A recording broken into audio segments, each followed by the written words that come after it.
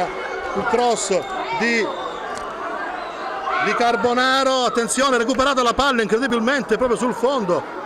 Allontanata la palla da Caridi, non c'è nessuno, ancora appoggia bene Mattera per il numero 18 Tovalieri, il talentuoso giocatore dell'Eversa, a due davanti a lui, cerca di superarli, lo mette in ferro laterale, attenzione, bisogna stare svegli, la Versa Normanna è tutto nella nostra area di rigore, lato corto dell'aria, attenzione, va a respingere, attenzione, il rimpallo favorisce Tovalieri, cross in area di rigore, attenzione, e il gol, gol, gol, gol del numero 4, Arini, Arini ha preso questo calcio questo cross e l'allenatore della Versa Normanna scatena tutta la sua attenzione su questo gol su questo gol su questo perfetto cross di Tovalieri giocatore attenzione non buttate bottiglie in campo ragazzi.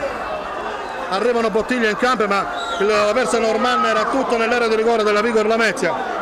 Il gol era nell'area diciamo.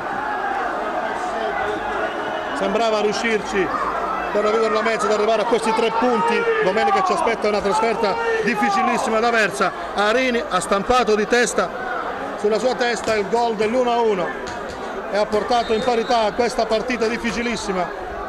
L'arbitro ferma di nuovo su questo Tovaliere davvero dalla destra del lato corto dell'area dall'altra parte ha fatto partire un cross dove si è alzato Arini e ha, sta e ha staccato di testa dove imparabilmente basso sulla destra di Forte ha messo la palla nel sacco. 1-1